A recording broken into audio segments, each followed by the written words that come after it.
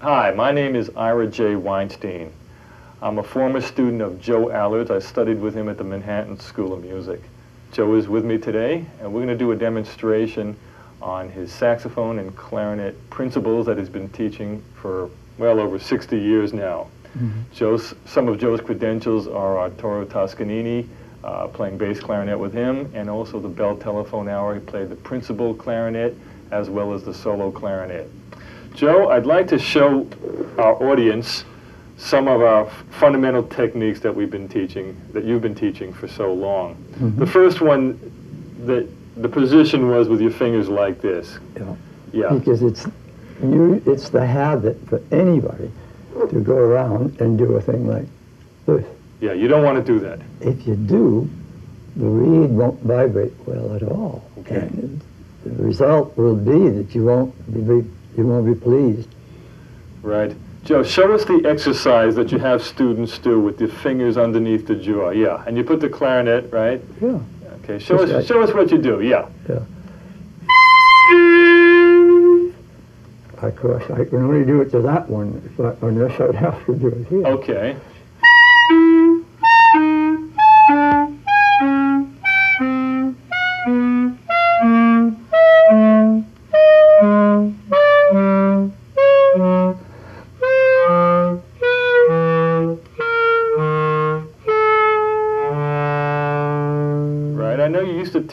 On clarinet. You used to hold the clarinet between your legs, and you used to go like this also to, to show me how yes, to keep. because the average person would do this.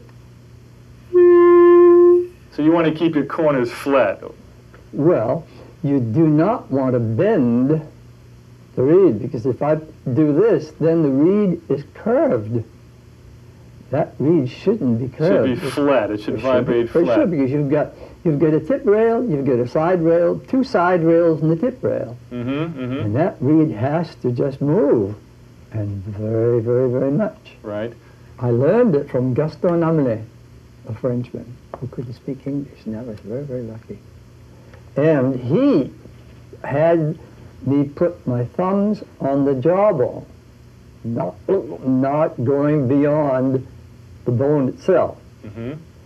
And then they had to hold it and stop the lip from curving the reed. All right? So here.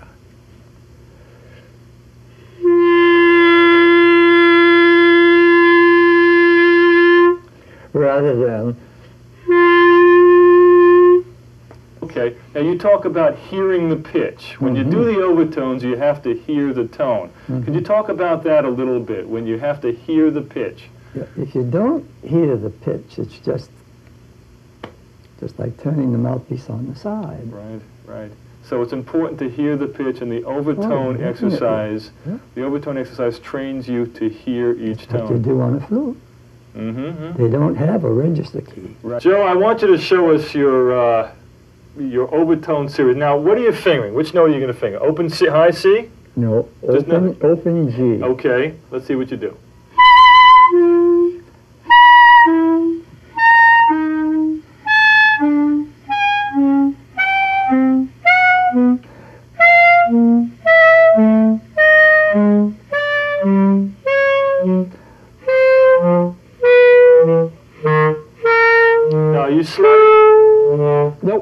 Sliding at all. Okay, you don't need to slide. When do you need to slide to the position, change position? If the reed is absolutely atrocious, so hard, right? Then you have to do something, you know. But uh, what about on volume control? Then you move the mouthpiece a little bit. Sure. Let's see you do that. Yeah.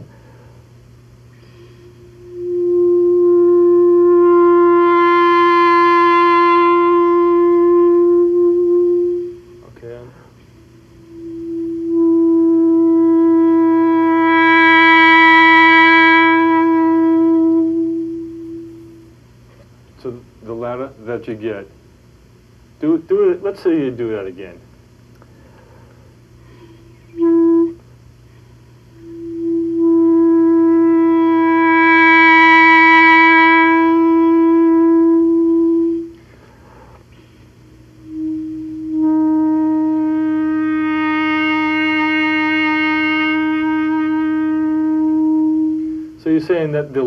That you get, the more volume that you need, you're actually sliding in Yeah. a little bit. Because you're getting away from here. Okay, you're That's getting you- right. yeah. And is that true for saxophone, clarinet, Definitely. bass clarinet? Yep. There, there was an exercise you once showed me. You started on the G. In fact, maybe I'll even try it. It was like this.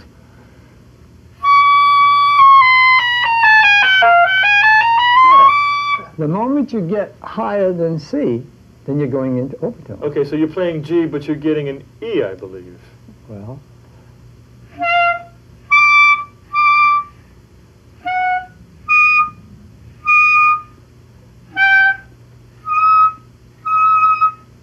I can do it, the, the three of them for all in good pitch.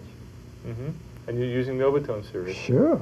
What other overtone exercises can you show the students watching the tape? Well, you can stop where it's uh, the right hand.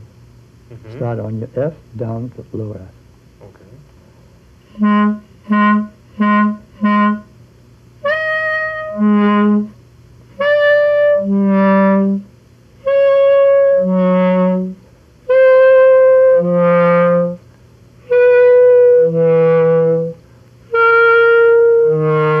So you're going to 12th. Much like in the saxophone and the flute exercise. Mm-hmm. Let me see if I can attempt to do that also. Yep, wait a minute, let me put my cap on, on Oh. my, so you have to turn your arm Okay. around. Is this the one? Yeah.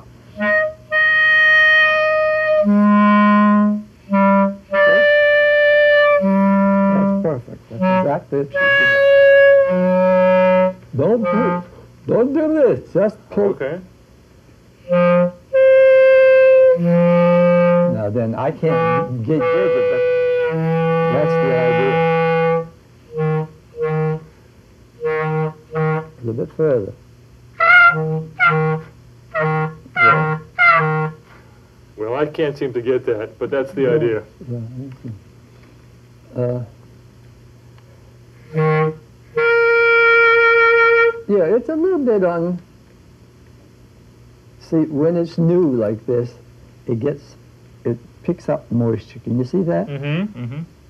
And then the first thing you know, what you have to do is you take, I use, I call it the white paper treatment. Okay.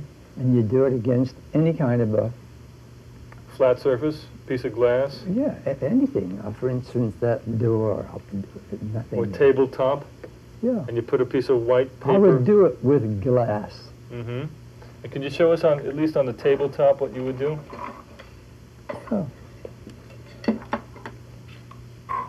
That actually. You just go, of course, you do this on a white piece of paper, Right.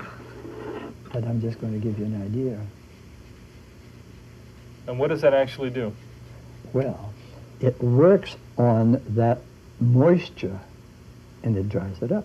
And also the fibers is pushing back. Sure, sure. You want to push the fibers back into the reed. Well, that's the way you put it. It's all right. But you, I know what you mean. I go along with it. okay, you used to explain it to me that way. Yeah. And you, you, the moisture, you're getting rid of the excess moisture too. Mm -hmm. Mm -hmm.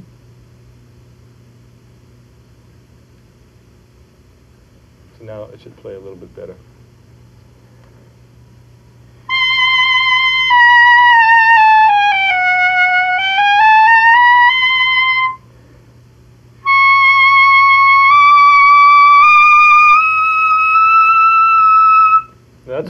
Without the register key. Yeah. That's just the overtone that you're getting. Yeah.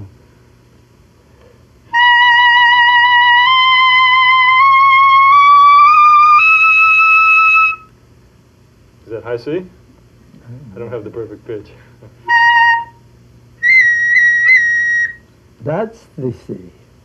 You also talked about the facing, where the reed and the mouthpiece Yeah. touch. If you go too close to the edge, it'll close. That's now. If it's too far, it's hideous. It's not musical, and the other one is not musical, but it's nothing. So here.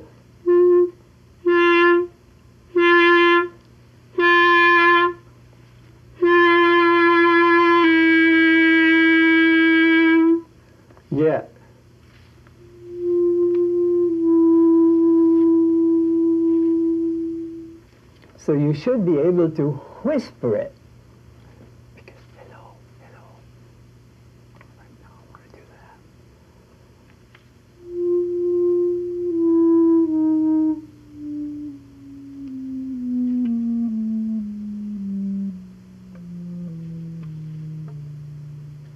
And then when you get louder, you take more mouthpiece. Sure. Just like in the But the very fact that you can come down to that, you can on the flute, and you can in your voice too. You used to show me and the other students that that were in my class mm-hmm. and, and all of the other students, you used to take the mouthpiece off the mm-hmm. clarinet. Can mm-hmm. we do, can we do that and mm. and take the mouthpiece off the clarinet? Yeah. And you used to do a exercise to play the scales on the on the mouthpiece. Yeah, on, on, on the saxophone. Or the saxophone, too. uh, yeah, Can you demonstrate that for us? sure. It's an old trumpet thing, you know.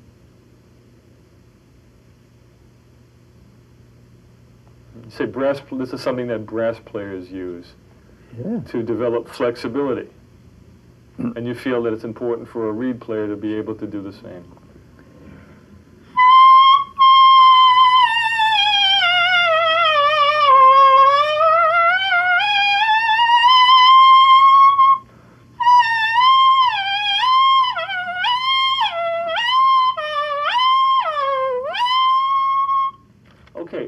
If you show us, I noticed that you're moving the mouthpiece in and out. Could you turn to the side and have the camera?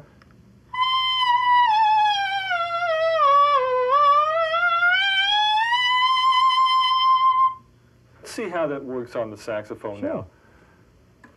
Okay.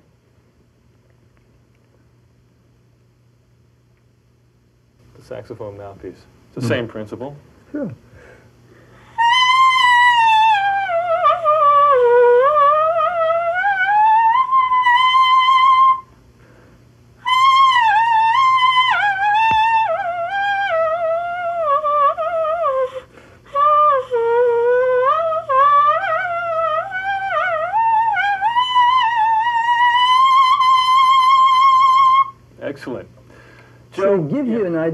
If you are going to play something on the horn, you have to hear before it comes out of the horn. And they, I don't want to say, you read, I have magazines that are sent to me, and they talk about the diaphragm. Well, it's not so much the diaphragm, but it's the ear. The ear, eh, e- ear keeps everything working properly. Sure. Joe, show us some of the principles that you have. Now, that's the saxophone. okay. With the mouth, the talk about the the the chewing that you used to talk mm-hmm. about, and also as far as keeping your your upper lip flexible. And you know, I used to practice with my lip off the complete, like this.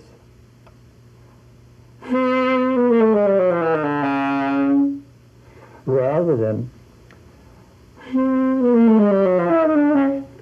That's not good. So the top teeth and lip are receiving. Right.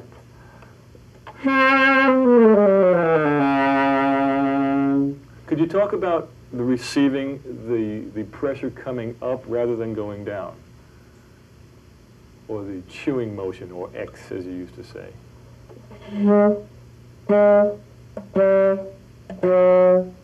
I feel that my teeth are just like the hammers of the piano.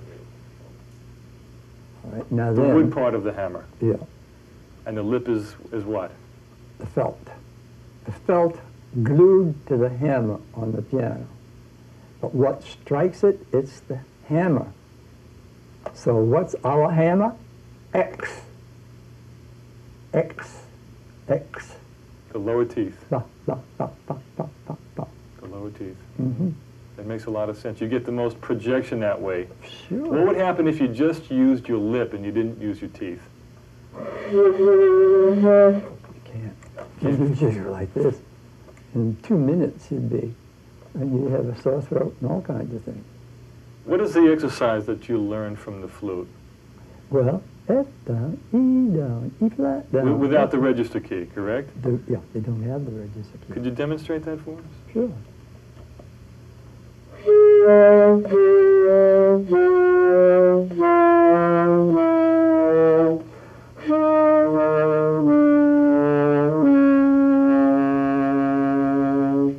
And I know that you used to teach me that when you practice that way, the intensity of the higher register is, is stronger. Well, it's a question of you hear it, and then it sends a message down in here which you'll never, never know. Joe, I want to continue and make sure that our audience understands the principle of chewing or the syllable X. Mm-hmm. Would you show us more on that? So you're actually what you call chewing. Yeah. Okay. Now the position of the tongue, how would you describe that? Here on the side and Anchored against the top teeth. right. Anchored against the top teeth. And thinking of pi, like I in can hit. move. I can move the hair in your head from here. I have a better idea, Joe. Let's do the candle. We, we practiced this before. All right. Show us both ways. The way that doesn't work first, okay? Let's get this lit. The way that the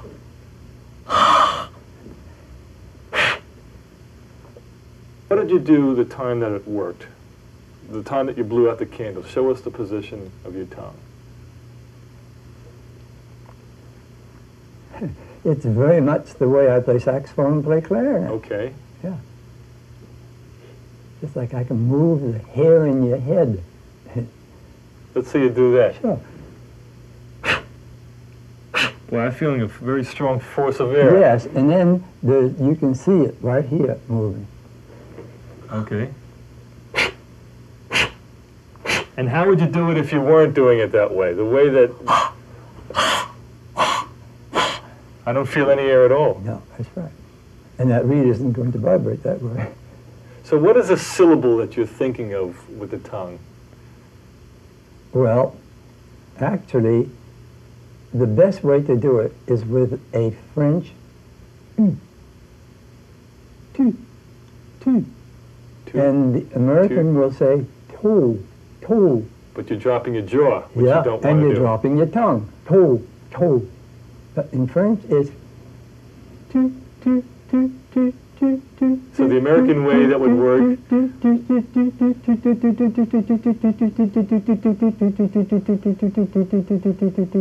Can you also think of the term hit, like like hit? No.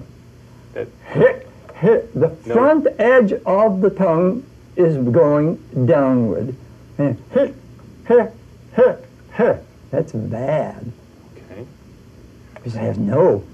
So Hit, so hit, t. So it's t. T. T, T, T. But they say tu, tu, tu, tu, tu, tu, tu, tu. And the tu, tu, tu, tu, tu, tu. And I used to practice it with my lip off the mouthpiece.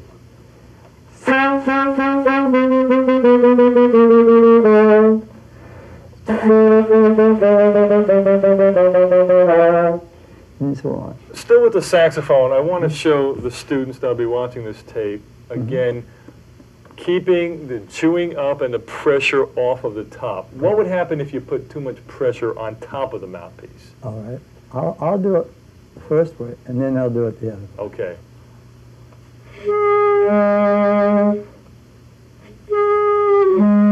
You're, you're pushing down. Yeah.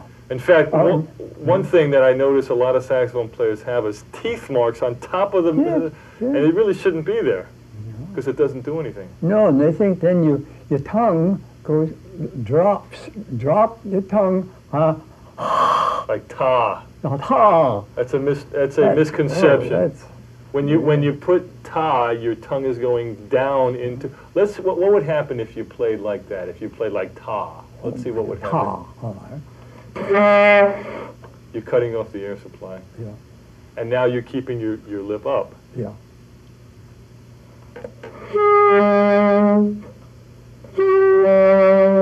What about the high overtones on the saxophone? What would you, what are some exercises?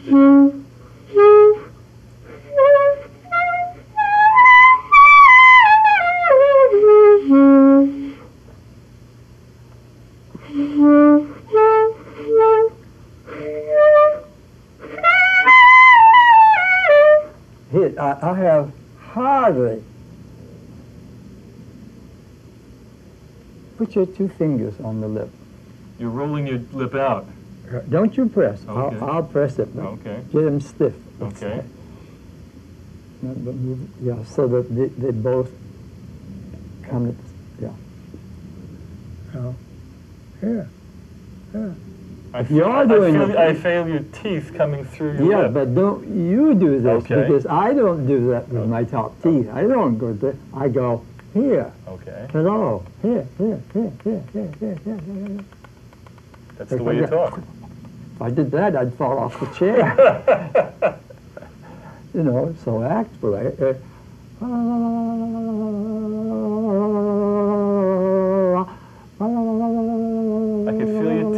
teeth, teeth, yeah. Sure. Now, what about rolling your lip in or out? What do you, if you, actually the, But if you roll it out, you're going, you're going to have a lot of, an awful lot of problems. You can't do anything there.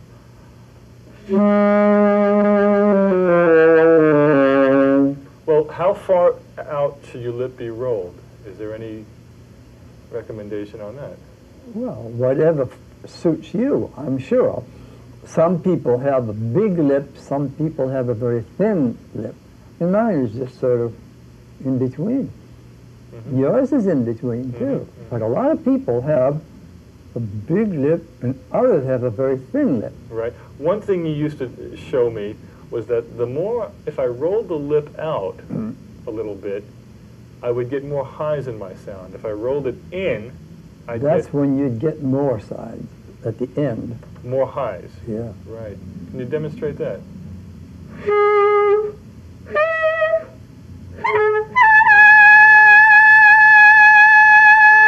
See there, that's only here.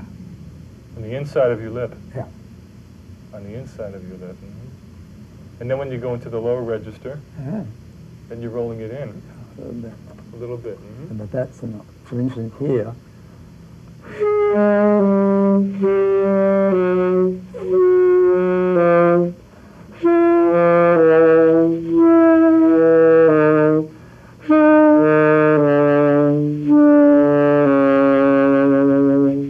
Okay. There's no difference in the position of it. hmm It was just a.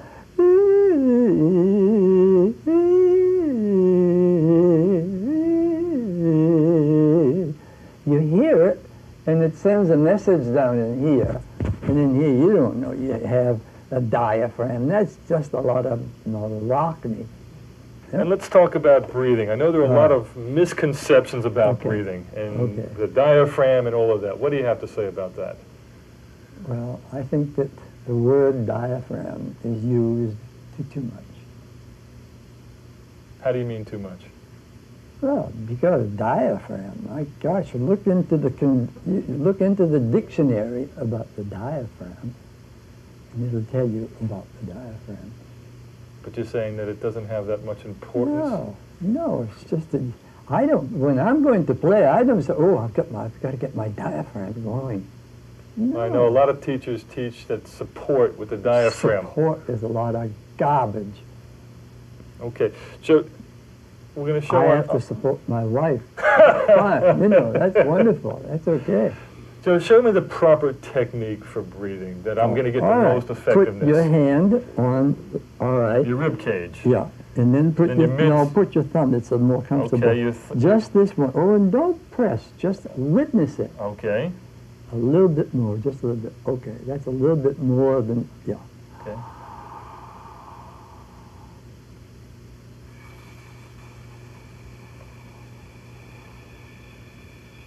Okay, your rib cage is still open, and your midsection is getting smaller, and your rib cage stays open.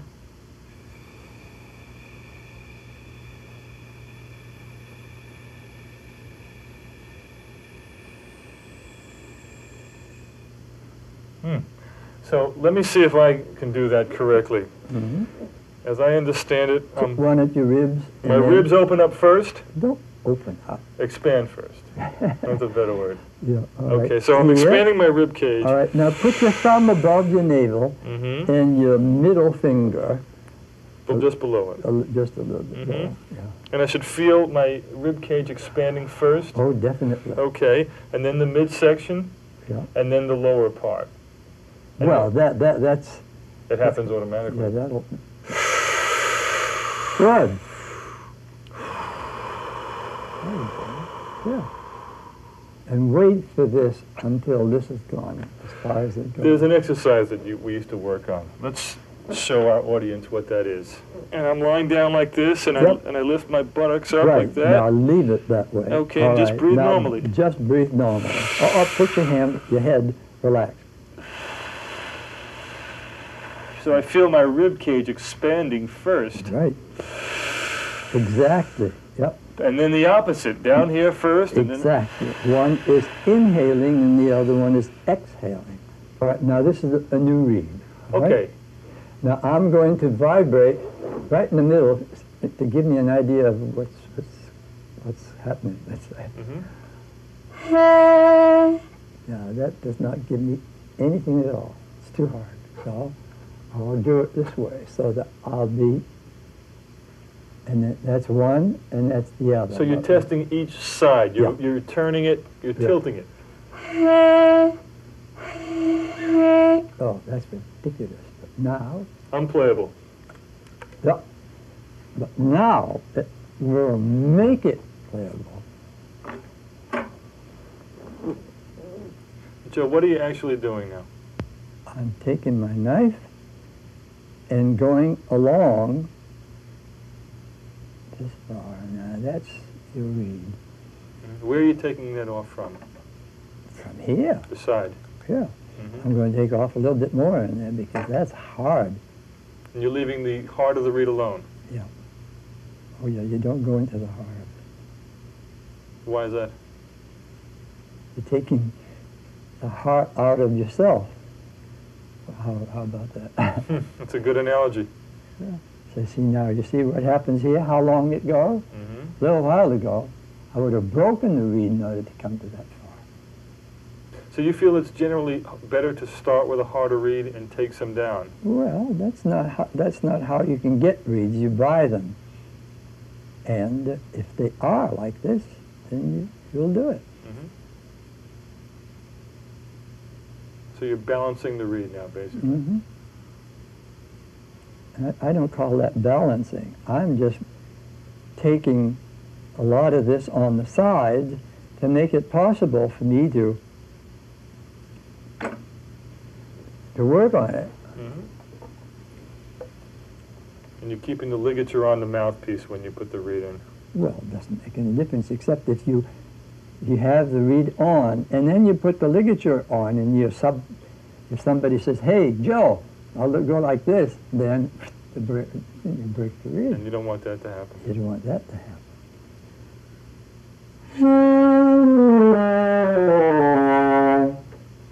You see, to me, You're still testing the sides of the reed. different- stiff? Yeah. Did you hear it? Yes, I heard it. Hmm. Sounded like your attack was airy. Mm-hmm. Thank you. What about the proper care of a reed? How should you care for it? Once you get it playing where you like it, Well, what I'm doing here, if I didn't do this, this reed, you'd say is no good. It's too hard. mm-hmm. and It once should go broke that way, and you still every time that you buy reeds, you just say to yourself, they're very expensive. yes. Sure. So therefore, if you know how to do this, then you're in you're in business. Well, once you get the reed playing exactly the way you like it, let's say you take off enough and it's playing good, Look at all, look at all That's- this in here. shavings. How do you keep the reed to last? How do you keep the reed lasting a long time? Do you have any?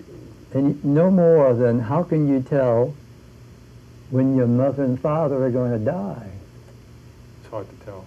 You have no way of knowing. Sure, it's hard to tell. It's the same thing. The reed is going to die. How do you know? Should you use one of those reed guards? Should you leave it on the mouthpiece overnight? Sure, as long as you wipe the ins- wipe out the moisture in, in the inside of the mouthpiece. So there's no excess of moisture. Sure. Mhm. And you just put it on. Put it, leave it back on. Sometimes I leave my reed on after a job and and I notice that it's very, it's still very wet the next day. I didn't clean the moisture Yeah, out. yeah. Well, if you get a good one, you, d- you don't want to leave it there overnight. You know, I mean, they can With kind too much moisture. Yeah.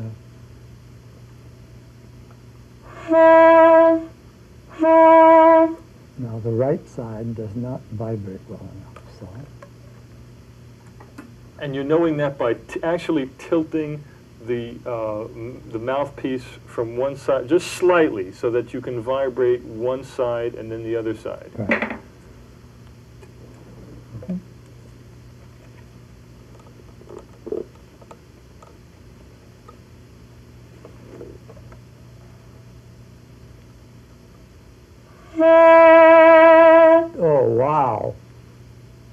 Mm, that's the way it feels, like, Let's see you play the Ibert Concerto now. right?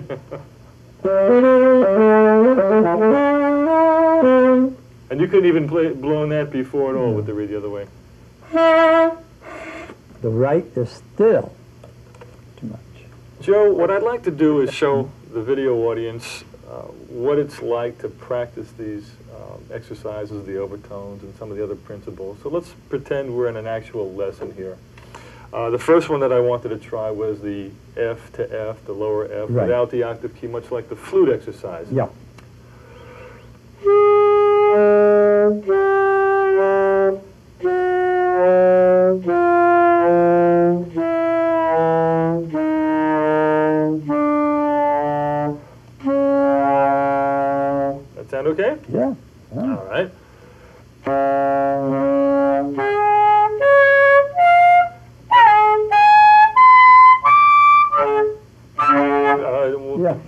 as far as you can and almost open your mouth. Until you it just almost. I'm actually rolling out so I get the oh, thin yeah, part of the yeah, lip. Yeah. But how often do you did you ever have you ever gone on a job when you played it that high? I can't say I have, but it's a good exercise. yeah. hmm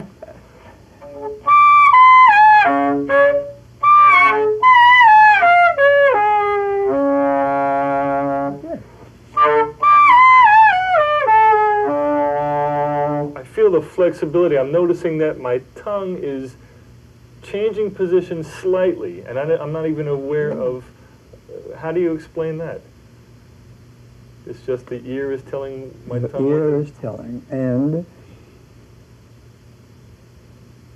it's pretty hard to say. It's pretty hard to say. Nobody knows, but it's my inner ear. I'm hearing the. Nobody knows. Now you mentioned about keeping the pressure off the top. Let's see if I can oh, demonstrate. definitely. The, the upper body of teeth is a receiving. Is a rec- the lower body of teeth is what? A baby. Just Chewing. Mama. yeah. X. X. X. That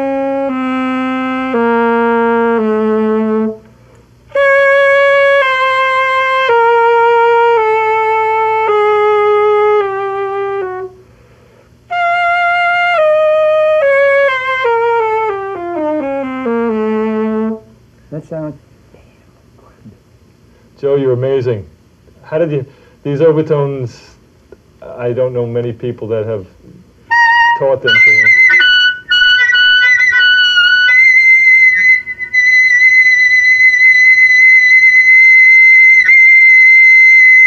Joe, I'm that you can still do that. That's amazing. it'll drive anybody crazy, but that's all right. Yeah, Joe, I want to thank you for your time, and the time that you spent showing us these principles. I'm sure many people are going to benefit from this, Oh, good. uh, and uh, the legacy of Joe Allard lives on.